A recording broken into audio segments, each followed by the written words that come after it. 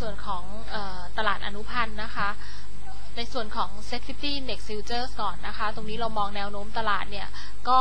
น่าจะอยู่ในช่วงของการรอปัจจัยที่นำใหม่นะคะ ซึ่งก็จะทำให้เซ็ตเนี่ยหรือว่าตลาดเนี่ยยังคงปรับตัวไปไหนไม่ได้ไกลเท่าไหร่นะคะ เพราะฉะนั้นกลยุทธ์ที่เราแนะนำเอาไว้เราก็แนะนำให้สถานะใหม่เนี่ย เลือกฝั่งทางด้านเก่งกำไรลองไปไปก่อนนะคะ ในส่วนของ S50 H12 นะคะ แล้วก็กำหนดจุดตัดขาดทุนทั้งหมด ถ้าหากหลุดระดับ 785 จุดลงมานะคะ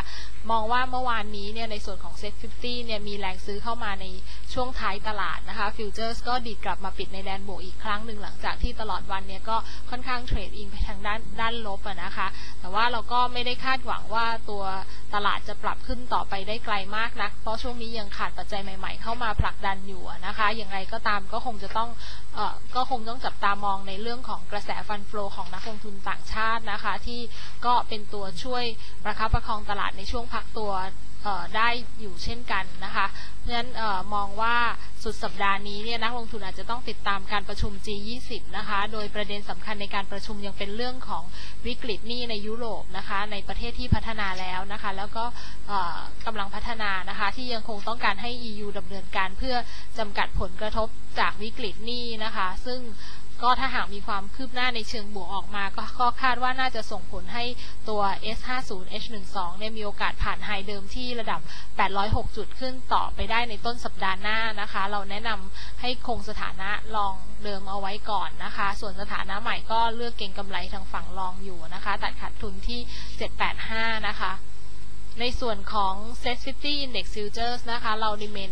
ตัว recommendation ในส่วนของกลยุทธ์ช็อตพุทเอาไว้นะคะ ถึงแม้ว่าในส่วนของพุทคอ volume หรือพุทคอ OI จะ มีการปรับขึ้นนะคะ ในส่วนของ implied volatility เนี่ย โดยรวมแล้วของพุทก็ยังคงปรับเพิ่มขึ้นมากกว่าในฝั่งของคออย่างต่อเนื่องนะคะ มันอาจจะเป็นการสะท้อนภาพตลาดในทิศทางขาลงอยู่ แต่ว่าถ้าพิจารณาในเรื่องของการเคลื่อนไหวของตลาดหุ้นเมื่อวานนี้เนี่ยก็ถึงแม้ว่าจะพันผวนอยู่ในทิศทางขาลง แต่ว่าก็มีการดีดตัวกลับขึ้นได้ในช่วงท้ายตลาดนะคะ เพราะฉะนั้นเรามองว่าแรงส่งตรงนี้อาจจะยังคงมีต่อเนื่องสำหรับตลาดในวันนี้นะคะ ก็มอง Set 50เนี่ยมีแนวโน้มที่จะดีดขึ้นไปทดสอบไฮเดิมก่อนนะคะ ที่ระดับ 806 จุดได้อีกครั้งหนึ่งนะคะ เพราะฉะนั้นสถานะช็อตพุทของเราในสัญญาเดือนมีนาคมที่ราคาใช้สิทธิ์ 770 ถึง 780 เนี่ยเรายังได้ถือแนะนำให้ถือต่อนะคะ เพื่อรอทำกำไรในช่วงต่อไปนะคะ มาในส่วนของ Single Stock Future นะคะ วันนี้เลือก 2 ตัวนะคะ ตัว STA H12 นะคะ ตัวนี้เทรนเรามองเป็น sideway up นะคะ ราคา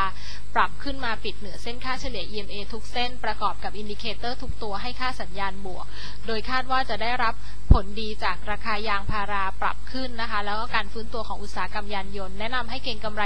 ลองในระยะสั้นนะคะ โดยตัดขาดทุนที่ 21 บาท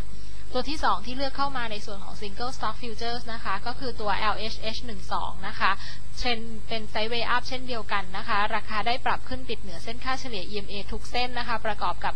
RSI เนี่ยกลับมาให้ค่าสัญญาณบวกนะคะ เราแนะนำเปิดลองนะคะ โดยตัดขาดทุนหัก